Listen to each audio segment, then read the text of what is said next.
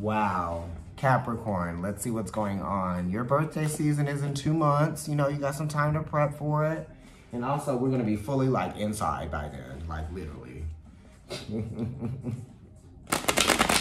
what's going on with you? There's been a lot of happening in your sign over these past couple years, right? Past few years. Pluto's been there for a while, but the other two, Jupiter and Saturn are there, and they have been letting us have it. And we're about to have a, the last Jupiter and Saturn conjunction in Capricorn for a while. Soon. In December, I think. Wow. All right.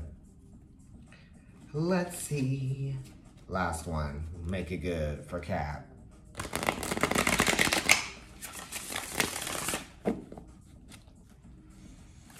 Ooh, Capricorn, it's all about the work, right? You know, I'm gonna go and read after this, so I'm doing, what, 12 readings here? And then I'm gonna go and do another whatever kind, however many at work. Mm -mm -mm. Okay, let's see.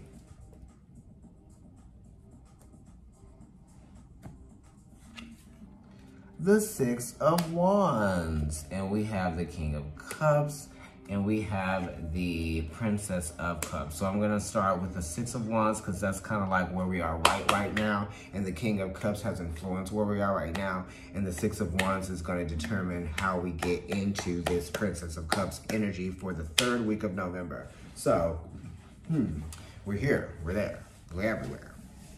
So this King of Cups kind of like influenced the transitional energy from the second into the third week of. So we're thinking of Scorpio. We're thinking of the focus of Scorpio season, Scorpio energy, Scorpio new moon. We're thinking of that conjunction, right? And of the moon and the sun. So I think, is it a, it's not an eclipse or anything like that. That's probably happening later.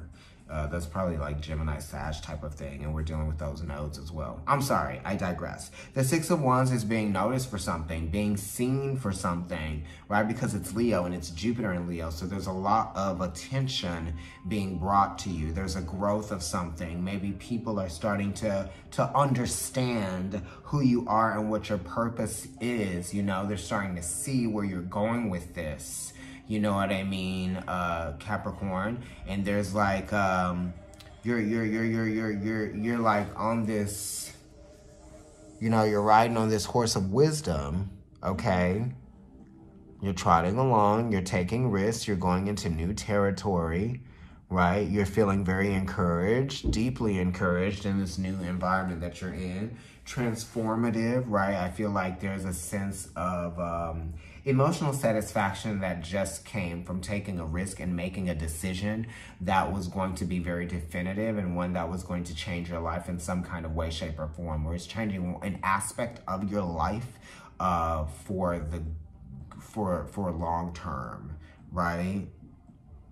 Because the King of Cups is is is king. It's like the most mature king or the most mature um, court card. So it does talk about time and it does talk about maturity and and outgrowing something, right? The Princess of Cups is here and it's saying that you're looking for some emotional satisfaction because you're experiencing a change in like um, inspiration, right? You're inspired for change. It's almost like you're you're you're you're yearning for it in some kind of way, or you were.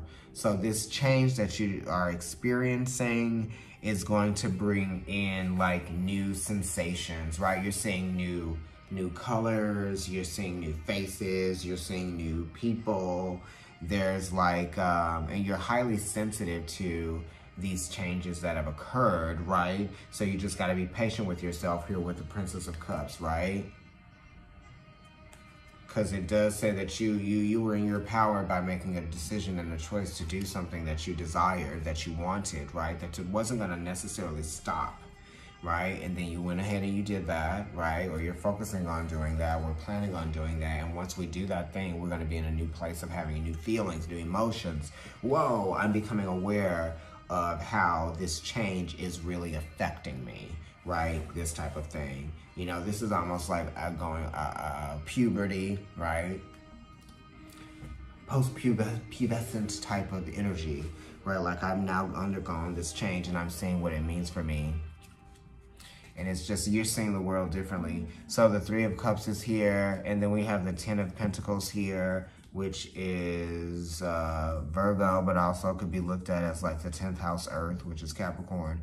And then we could be looking at this Three of Cups energy as Cancer, or it's like third house energy uh, because it's three.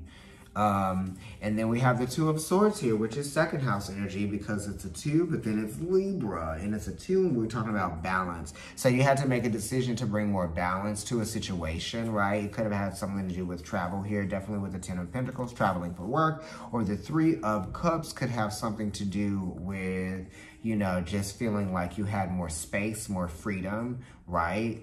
Uh, and more freedom of expression, that type of thing. It would have been easier to get to these people, you know, like the Three of Cups is talking about that, right?